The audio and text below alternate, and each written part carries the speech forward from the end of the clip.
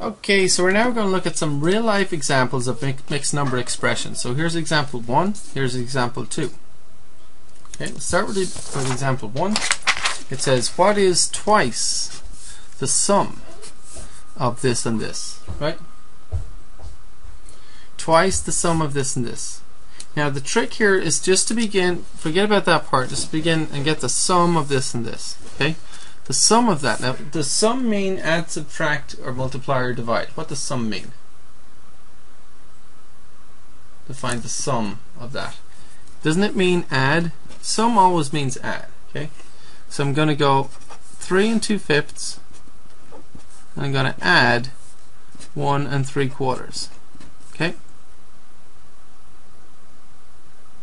So, um, you know, I could just go ahead and add that and get the answer and then get twice that, Good night.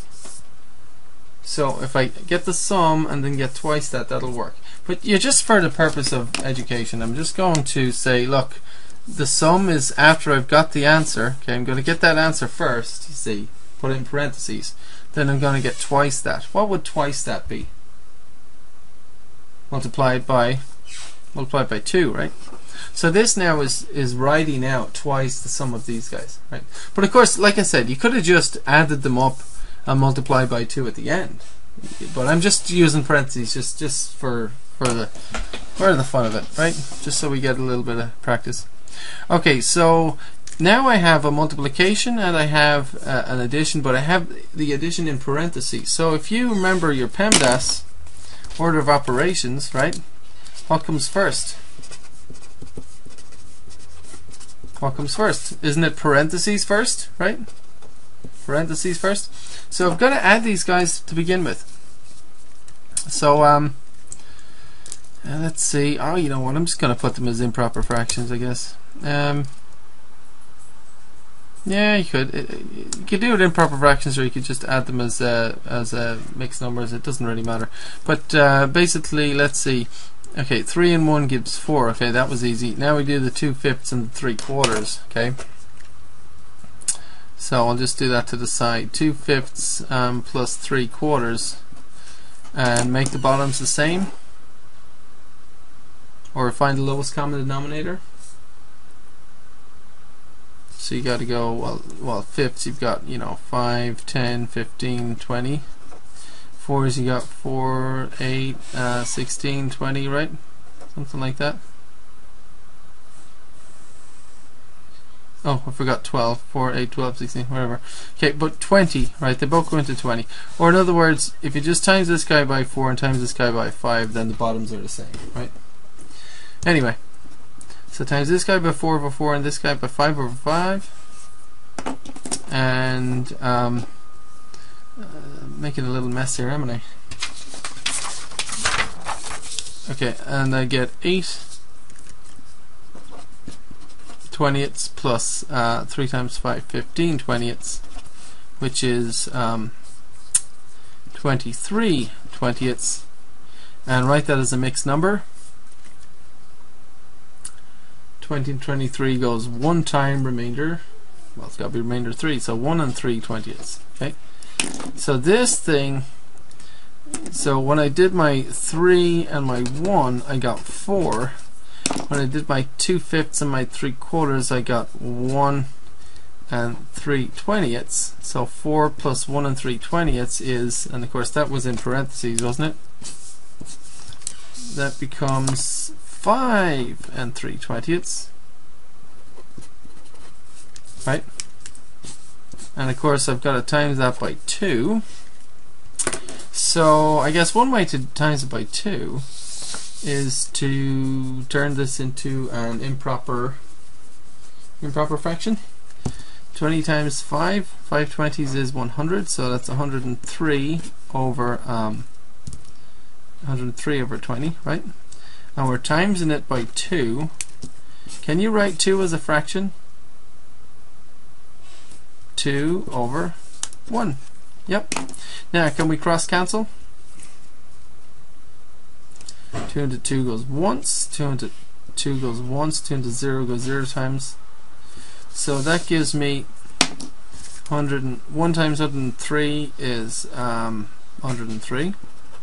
over 1 times 10 is 10. 103 over 10 is the answer as a mixed number, or as an improper fraction. Now can you turn that into a mixed number? 10 into 103 goes 10 times remainder 3. So 10 and 3 tenths, right?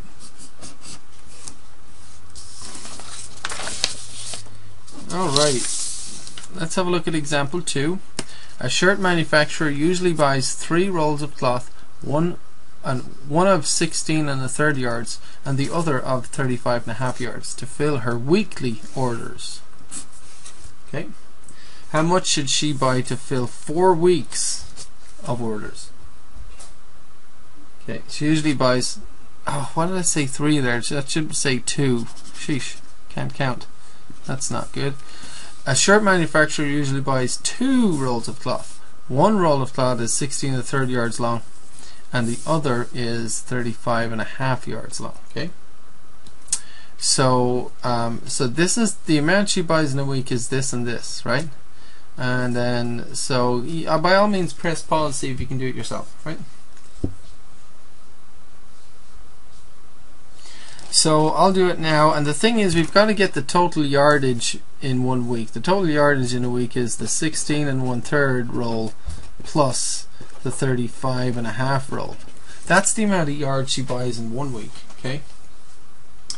Now we want to know how much he buys in four weeks. So we're going to add that together and then multiply by four, right? And just for the education of it, I'm just going to throw in the parentheses here and do that. Because I'm going to, it's telling, when I do the parentheses, it says, look, you got to add these guys first to get the weekly amount and then multiply by four, right?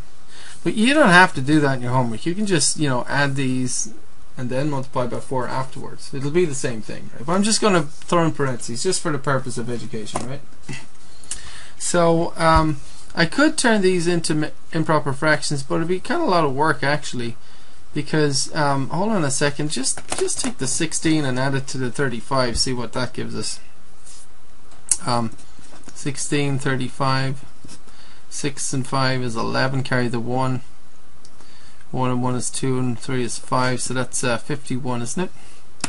So if I'm doing the parentheses first I get 51 and then I've got to add the half and the third or the third and the half. So go ahead and add a third and a half together. So lowest common denominator let's see we've got uh, 3 goes 3 6 9 2's go 2 4 6 Okay, sixes are common. Or in other words, just to make the bombs the same times that guy by 2, now times that guy by 3, and we, they both say 3 times 2, right? Anyway, we need to turn it into sixths. So we've got 2 sixths plus 3 sixths, which is how many sixths? 5 sixths. Okay. So I took the 16 and the 35 and I got 51. I took the third and the half, I added them, I got 5 6. So this is 51 and 5 6, isn't it? And it's 4 times that guy. Right? And I guess the thing we were doing with this is when we multiply uh, these guys, we turn them into improper fractions. So right 4 is a fraction to begin with. 4 is 4 over 1. Now write this guy as a fraction.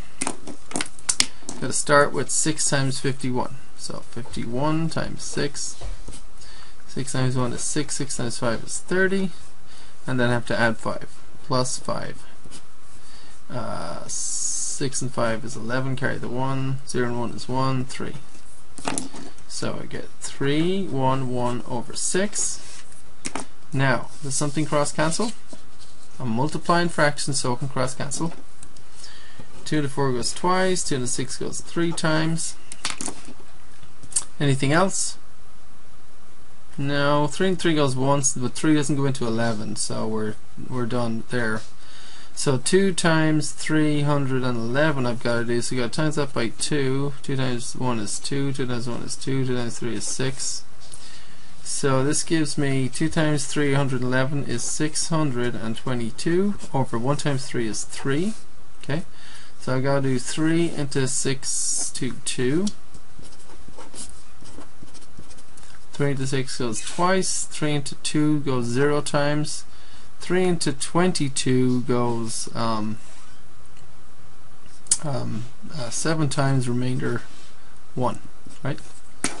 So as a mixed number I get 207 remainder 1 so 207 and 1 third. And what is the units on that? A shirt manufacturer usually buys two rolls lot one ro roll is uh, 6 and a 13 six and 16 and a third yards the other is 35 and a half yards. And then we added those then we multiplied it by 4 for the 4 weeks and we got this now what's the units on that it's got to be yards, right? YD for yards.